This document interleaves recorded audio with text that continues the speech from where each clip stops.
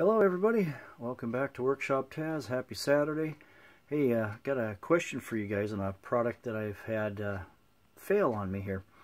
Uh, to give you a, a, little bit of an example, I've had a few engines in my life uh, that I've worked on, both V8s, four cylinders, blah blah blah. I've had some gas engines, RC engines, nitro, gas, blah, you know, a few manufacturers, Saito, OS, Thunder Tiger, Super Tiger, things like that. I've never in my life ever locked up an engine. Not saying I'm above that, just saying it hasn't happened, knock on something yet, until here recently. Um, so I got a question about this. Uh, I know what it takes to get an engine hot and lock it up. Uh, you kind of get an idea when they do that. They get hot. They You smell it. You can definitely tell. This, not so much the case. Um, and this is where my question is. So what I will get done is babbling here and show you guys what I got. This used to be, yes, used to be an OS gasoline engine.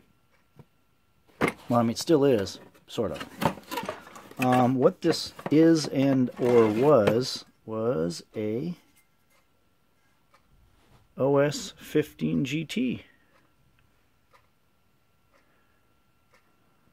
Get that in there. OS GS 15 GT. You might be saying, yeah, okay. So, brand new engine sat in a box for a year. Not that that has anything to do with anything. Fired it up, ran great. And uh, after about, no, I don't know, three, four, five, six, seven minutes of running, it started to tick. I thought maybe I had something on my run table loose, so I shut the engine off, checked everything. Everything seemed to be nice and tight, so I fired it back up. And it ran for approximately another 30 seconds, started ticking again, and then just stopped. I'm like, okay, weird. Engine's not hot. Uh, I'm using a 51, 50 to 1 uh, oil ratio, same ratio I use in all my gasoline engines for my airplanes. Uh, I've run it in motorcycles. I run it in outboards. I run it in, you know, that same same ratio mixture. I've never had an issue with it. Uh, also, the instructions per OS state they recommend 50 to 1 uh, oil to gas ratio. Great. So, what I found is when it locked up, it wasn't what I expected. What I expected was the piston to be welded to the the liner, and it wasn't. Um, hopefully, I will uh, be able to get some good shots. If not, I'll take it outside and show you guys what I found. This is the piston, and it looks pretty good. Uh, there's a little indentation right here, and that's what was raising a question for me, is right there. Okay, and if you take a look, uh, the cylinder, when they get hot like that, you can definitely see they score. This one's not scored except for in one spot. And it, it wasn't stuck to the liner. Uh, there was a piece of aluminum wedged between the cylinder and the piston here. And which also had stuck the ring to the piston somehow wedged a piece of aluminum in between. You can, I don't know see right there, but it was wedged in there. I actually had to like kind of dig it out, which naturally deformed the ring, so that has to be replaced. This has got a scar right where the piece of aluminum, and it actually looks like the piece of aluminum came in this port right here. So it came in that port, and oh, where'd it go? And looks like it scraped up and down there for a little bit. Now that's that's just that part. Here's where the Here's where the issue was. The bottom of this crankshaft right here, or the connecting rod, I'm sorry. So I don't know if you can see how galled up that is.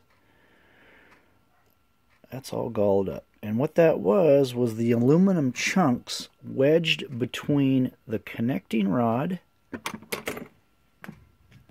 and the machine part in the block here, or the crankcase, or yeah, the crankcase, it had somehow wedged itself between the crankcase and the connecting rod. And I don't know if it had shaved it off the inside of the block or if the shavings were already in there. I'll give you an, an example.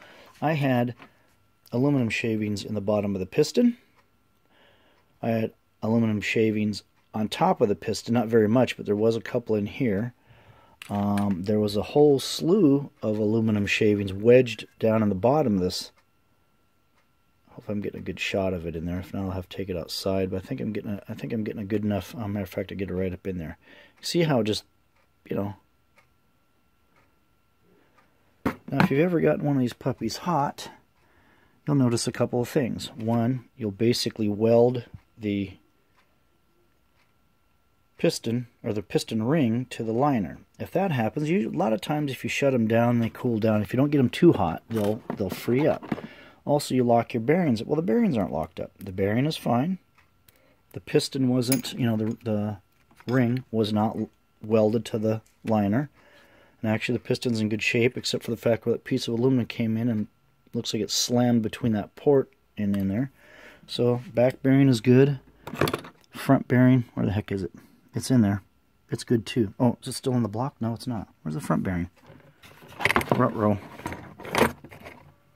Anyway, wherever the front bearing is, I have it, and it's good. It's not it's not locked up. Anyway, um, also you can take a look here. If you run these bearings dry, you know, run it too lean, they'll also, you know, start to gall the inside of the race. But like I said, this is in awesome shape. Yes, there was aluminum chunks in this too. I had to wash that out.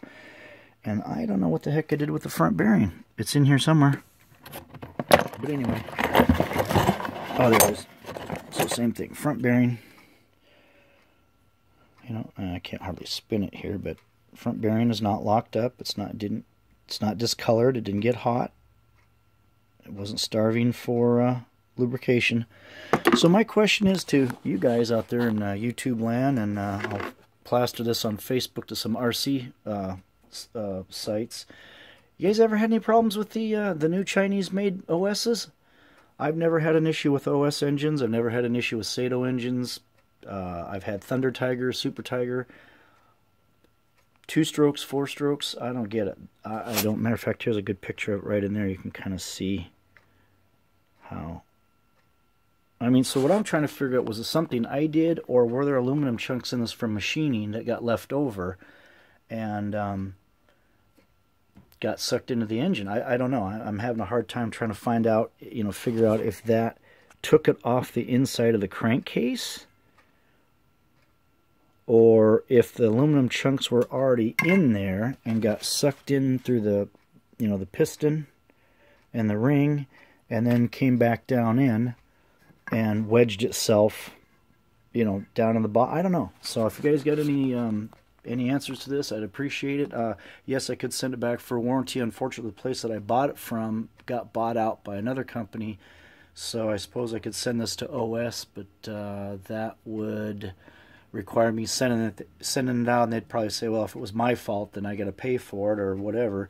And I can just order the parts by the time I send it out, have them mess with it and put it back together and bring it back. I can already have the parts ordered and assemble it, and we'll start all over again. But my question to you guys is is this something I did wrong or is this something that was a manufacturing issue? Um, I've never had an issue with OS. I don't know if them being made in China has hampered that any. I mean, the machining seems to be about the same, but that doesn't mean something can't happen. I've uh, had some products by name brand manufacturers have had some issues due to uh, issues, we'll say. I don't know how to explain it.